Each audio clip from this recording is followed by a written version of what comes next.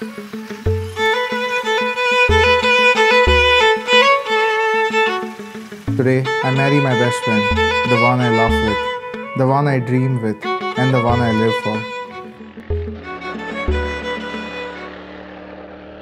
for.